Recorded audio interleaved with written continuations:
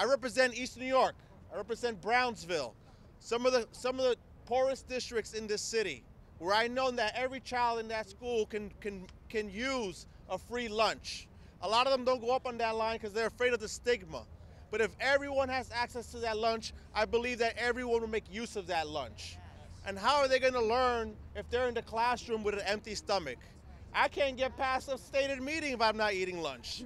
So how can our kids be in, in, in our classrooms learning if they don't have the nutrition they need to get that education? So I stand here with all these advocates, with all the unions to tell the mayor, please, not please, make sure that we have money in this budget for our students so they can go home and make sure, and so we can send them to school and know that they have a full meal. Thank you. Thank you.